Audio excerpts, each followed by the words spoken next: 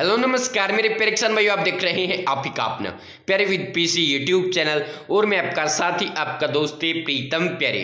किसान भाइयों, अगर आप अपनी फ़सल को मंडी में बेचना चाहते हैं तो उसके लिए आपको पता ही होगा कि आपको अपनी फ़सल को मेरी फ़सल, मेरा बेरा वेबसाइट पर पंजीकृत करना होता है, उसका रजिस्ट्रेशन करवाना होता है। अगर आप रजिस्ट्रेशन नहीं करवाते हैं तो आपकी जो फ़सल है, वो मंडी में नहीं बिक पाती है। और इसके अलावा, जो भी कृषि स्कीम है, वो आपको नहीं मिल पाती है। खेती से संबंधित लाभ जो हरियाणा सरकार देती है, वो आपको प्राप्त नहीं हो पाते हैं। तो चलिए किसान भाइयों, वीडियो को शुरू करते हैं और आपको देते हैं बड़ी खुशखबरी।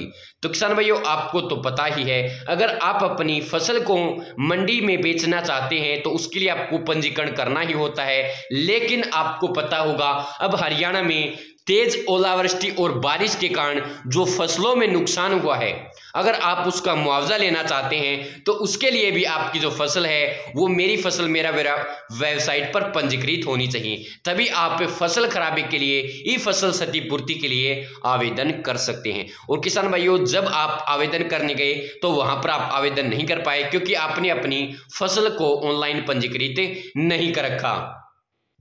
और उस समय आप चिंता में पड़ गए कि अब फ़सल पंजीकरण कैसे करें? क्योंकि हरियाणा सरकार ने चार पाँच दिन के लिए 20 मार्च तक फ़सल ऑनलाइन की जो प्रक्रिया है, उसे शुरू किया था, लेकिन बाद में वो बंद हो गई। अब किसान भाइयों, फिर से एक बार हरियाणा सरकार ने आपको मौका दिया है और जो फ़सल पंजीकरण है, आज दोस्तों शुरू है। अगर आपको अपनी फ़सल को मंडी में बेचना है या आपकी फ़सल में नुकसान हुआ है और आप खराबे के लिए आवेदन करना चाहते हैं, मुआवजे के लिए आवेदन करना चाहते हैं तो आज ही, अभी ही अपनी फ़सल को मेरी फ़सल मेरा बेरा पर रजिस्टर्ड कर दीजिए, उसका पंजीकरण कर दीजिए, चाहे आपने सरसों ऑनलाइन करवानी हो, क्योंकि सरसों की अगर आपने फ़सल बो रखी है, चाहे आपने गेहूँ की फ़सल बो रखी है, या अन्य जो फ़सल आपने रवि की बो रखी है, जो भी फ़सल बो रखी है, उसका आप मेरी फ़सल मेरा बेरा पर रजिस्ट्रेशन कर दीजिए, ताकि आपको लाभे मिल सके, वरना आप अपनी फ़सल को न तो मंडी में बेच पाएँगे और जो मुआवजा मिलना है, उसका भी आप आवेदन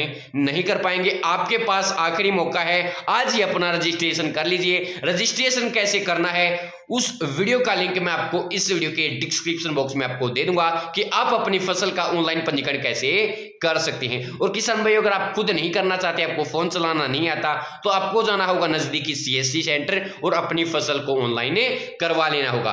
तो धन्यवाद किसान भाइयों, यही जानकारी आपको देनी थी। जल्द से जल्द आप अपनी फ़सल को ऑनलाइन करवा लीजिए, क्योंकि जो रजिस्ट्रेशन है, वो शुरू हो चुके हैं। धन्यवाद किसान भाई, अगर आपको वीडियो में कोई कमी लगी हो तो उसके लिए मैं दिल से माफ़ी चाहता हूँ। आगे से आपको और भी अच्छी और बेहतरीन वीडियो देखने के लिए मिल जाएगी। दोस्तों, अगर आपको वीडियो पसंद है तो वीडियो को लाइक करना, चैनल को सब्सक्राइब करके घंटी के बटन को दबा लेना, ताकि जो भी मैं वीडियो डालूं, उसका मैसेज आप तक पहुँच पाए। धन्यवाद दोस्तों, जय भारत, जय हरियाणा, जय जवान, जय किसान। धन्यवाद मेरे पेर किसान भाइयों।